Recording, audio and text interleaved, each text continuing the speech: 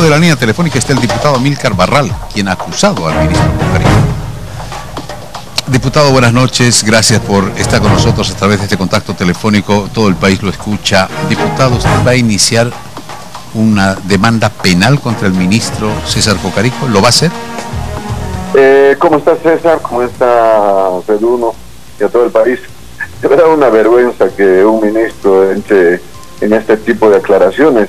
A mediodía o en la mañana, cuando me ha dedicado 40 minutos de su tiempo para hablar eh, de mi vida y no aclarar eh, el encubrimiento, el incumplimiento de deberes, la omisión de denuncia que ha, que ha cometido con el tema de su hermano, porque no es uno solo, César.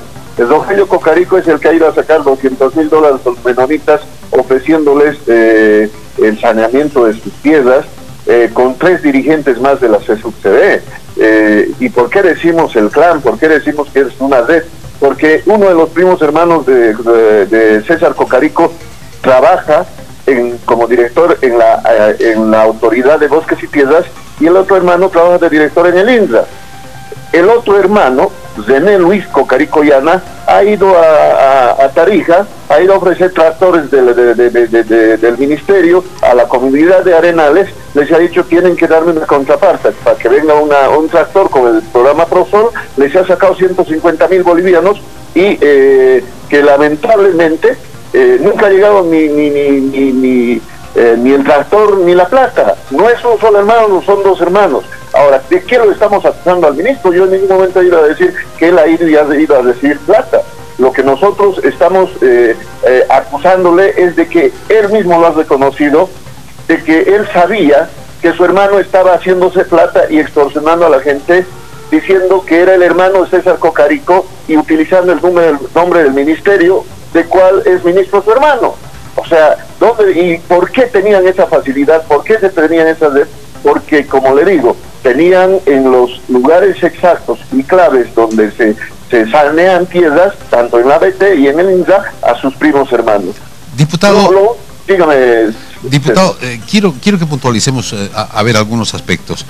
Eh, el ministro César Cocarico dice que usted lo está acusando de ser la cabeza de un clan denominado Gran Clan Familiar Cocarico. ¿Usted tiene esas pruebas como para acusar al ministro Cocarico de que es la cabeza de un clan familiar?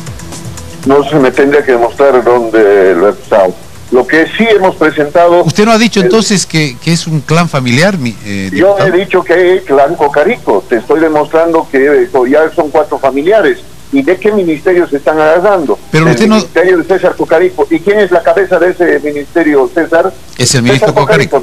Bueno, entonces eh, mucho que pensar no hay, ¿no es cierto? Ahora, ¿qué te, qué, te digo? Nosotros ya le hemos metido la denuncia el 6 de noviembre y no es necesario que el, que, el, ministro me esté dando este lunes. Debería meterme hoy día mismo si quería el proceso penal, eh, si él tiene pruebas que, que le estamos difamando. Nosotros como funcionarios públicos, César, al día siguiente que, que te enteras de que alguien está cometiendo un delito en nombre de tu ministerio o tu persona, como ha pasado varias veces con el ministro Héctor Arce y otros ministros, que han encontrado gente que se hacía pasar de asesores y los han exhibido en la en manillados como delincuentes y los han metido a la cárcel, él por lo menos debía hacer ese proceso sus denuncias, ¿sabes cómo dicen? Autor o autores. No habla de Rogelio Cocarico, no habla de, de René Luis Cocarico. Y ahí están sus dos hermanos y sus dos primos en puestos claves, en la ABC y en, la, en, el, en el INDA. ¿Y quién firma los memorandos para esos dos primos hermanos?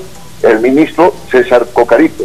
Ahora, nosotros ya hemos presentado las pruebas, una denuncia de casi seis eh, fojas, más las pruebas que llegan a ser unas 30 fojas, al, señor eh, eh, fiscal de distrito de, La Paz, eh, porque, para que ellos investiguen, porque nosotros somos funcionarios públicos, el hacer una querella, nosotros no somos los interesados, o sea, los afectados. Por eso te digo que ya hemos metido la denuncia y ahora veremos que el Ministerio Público haga su trabajo y no por lo que tengan un poquito de poder ellos puedan influir en la investigación. Ahí está por qué delitos le estamos acusando. Incumplimiento de deberes, encubrimiento y omisión a denuncia, que son los delitos que cometen los funcionarios públicos cuando no denuncian eh, un eh, delito que se esté cometiendo. ¿Qué ha dicho hoy día César eh, ante los periodistas? de la última parte de su conferencia de prensa. Dice, ¿por qué usted no ha eh, comunicado este tema cuando pasó las cosas? Él dice, por cuidar eh, la integridad de mi familia, por cuidar la imagen de mi familia. Esa es la respuesta. ¿Y te parece lógica de un funcionario público? Bien. Importante eh, los argumentos que también esgrime el diputado Amílcar Barral. Dice, yo no tengo por qué iniciar una demanda penal contra el ministerio, contra el ministro César Cocarico. Yo he presentado todos estos argumentos y estas pruebas al fiscal de distrito, al fiscal de La Paz, William Alave, que ellos inicien la investigación. Eso es lo que acabamos de escuchar del diputado Amílcar Barral, que ha denunciado este hecho y se ratifica en sus declaraciones porque cree que la cabeza de un clan familiar sería el ministro César Cocarico, porque no solamente es uno de sus hermanos, sino dos que estarían implicados en este caso. ¿Algo más, eh, diputado, para cerrar? No, para reiterarte, César, una vez más, creo que he escuchado al ministro decirme que me está dando hasta el lunes. Sí. Él no, no es quien para decirme qué tengo que hacer. Eh, más bien que sea valiente, que no sea cobarde, que no se ponga detrás de su ministerio, me inicie proceso penal. ¿Por qué? Yo estoy cumpliendo mi función de fiscalización por lo que me ha elegido la gente democráticamente y tenemos todo toda esa obligación nosotros de denunciar irregularidades. Que él vaya a aclarar qué tipo de hermanitos tiene, eso ya no es mi problema, pero que lo haga el Ministerio Público, porque con amenazas por el hecho que están en el poder, nosotros no les vamos a tener miedo. Sé que manejan todos los poderes, pero vamos a seguir adelante, César, y todo con pruebas. Jamás vamos a acusar eh, de manera falsa a nadie. Al final a César Cocarico jamás ni lo he hablado, ni lo conozco personalmente. Bien, pero no va a iniciar usted una demanda penal contra el ministro no corresponde porque yo no soy el afectado, César. O sea, a mí no me ha afectado eso, a mí no me han estafado, a mí no me han estafado. Nosotros hemos denunciado de que ha habido responsabilidad del ministro eh, eh, eh, y los, los, los tipos penales que lo estamos acusando pueden tener hasta cárcel. Eso ya será investigación de parte del Ministerio Público. Muchas gracias, diputado Amílcar Barral, por aceptar nuestra invitación, por aceptar conversar con nosotros y que todo el país escuche. Nuestra responsabilidad periodística, como siempre, parte contra parte. Saque usted su conclusión. Gracias, diputado. Muchas gracias y gracias por la imparcialidad también y saludos a todo el país, César. Muchas gracias.